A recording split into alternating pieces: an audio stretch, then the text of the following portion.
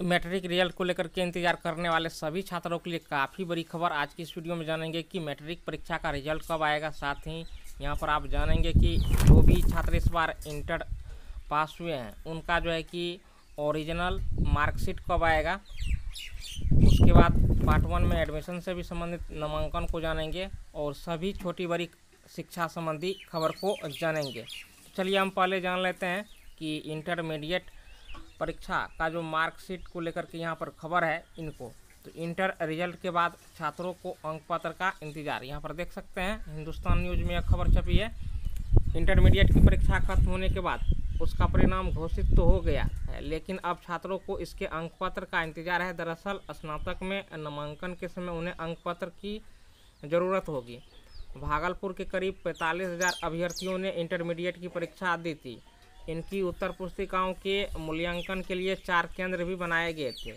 शिक्षकों की हड़ताल के बावजूद लॉकडाउन शुरू होने से पहले युद्ध स्तर पर उत्तर पुस्तिकाओं का मूल्यांकन कराकर रिज़ल्ट निकाल दिया गया। अब छात्रों को इंतज़ार है कि उन्हें उनके अंक पत्र जल्दी मिले। जानकारी हो कि छात्रों को स्नातक में नामांकन लेना है। इसमें कई छात्रों को भागलपुर तो कई को बाहर जाकर नामांकन लेते हैं। लॉकडाउन के बाद विभिन्न कॉलेजों में जो है कि नामांकन की प्रक्रिया शुरू होगी। नामांकन के दौरान विद्यार्थियों को मूल अंक पत्र दिखाना होता है। जिला शिक्षा कार्यालय के एक अधिकारी ने बताया कि रिज़ल्ट बन गया है, लेकिन पटना से यहाँ अंक पत्र नहीं आया है। लेकिन बहुत समय नहीं लगना है। तो यहाँ पर देख सकते हैं कि अंक पत्र अभी नहीं आया है, लेकिन पटना में जो है अंक पत्र बन कर के तैयार है। यानी यहाँ पर देख सकते हैं कि रिज़ल्ट बन गया है तो अंक पत्र बन के तैयार है। और बिहार विद्यालय परीक्षा समिति को इसके सिर्फ़ अंक पत्र का प्रिंट निकालना है, क्योंकि यहाँ उत्तर पुस्तिकाओं के मूल्यांकन के बाद उसके अंक ऑनलाइन चढ़ाया जाता था, जो सीधे रिज़ल्ट के फॉर्मेट में तैयार हो जाता था। तो फाइनली जैसे ही लॉकडाउन ख़त्म होगा, इसके बाद कुछ दिन में ये अंक पत्र आ जाने की उम्मीद है। तो लॉकडाउन ख़त्म होने के बाद सभी छात्रों को अपने कॉलेज जा कर के अंक पत्र ले लेना है। यानी लॉकडाउन ख़त्म होते ही एक सप्ताह के अंदर में सभी छात्रों का अंक पत्र आ जाएगा। और लॉकडाउन ख़त्म होने के बाद ही ऑनलाइन शुरू भी होगा तीन मई के बाद से। तो यहाँ पर आप देख सकते हैं कि परीक्षा कैलेंडर पर फैसला अगले सप्ताह यानी यूनिवर्सिटी का जो है एग्जामिनेशन कैलेंडर अगले सप्ताह जारी किया जा सकता है। बीएनएमयू ने एग्जामिनेशन कैलेंडर जारी कर दिया है। रेस्ट जो यूनिवर्सिटी बच गए हैं तो उनके लिए जो है कि अगले सप्ताह जो है एग्जामिनेशन कैलेंडर जारी हो जाएगा। यानी कब से part one, part two, part third के फॉर्म भरे जाएँगे, यानी तमाम बातों की जानकारी उसमें रहेगी।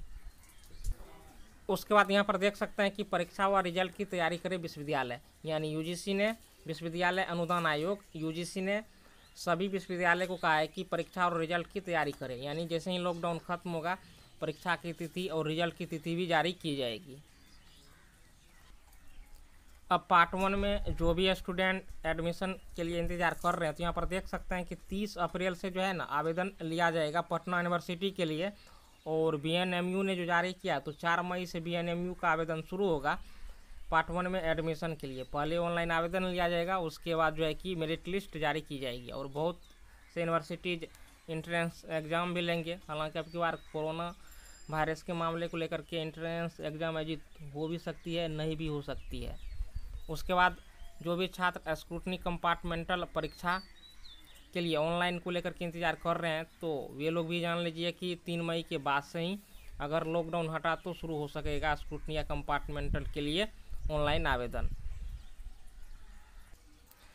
थर्ड के जो भी स्टूडेंट, हैं, सीमांचल जोन के वे थर्ड रिज़ल्ट को लेकर के इंतज़ार कर रहे हैं तो आप लोग जान लीजिए कि उनका भी रिज़ल्ट जो है कि लॉकडाउन खत्म होने के बाद, यानी छः या सात मई तक आ सकता है।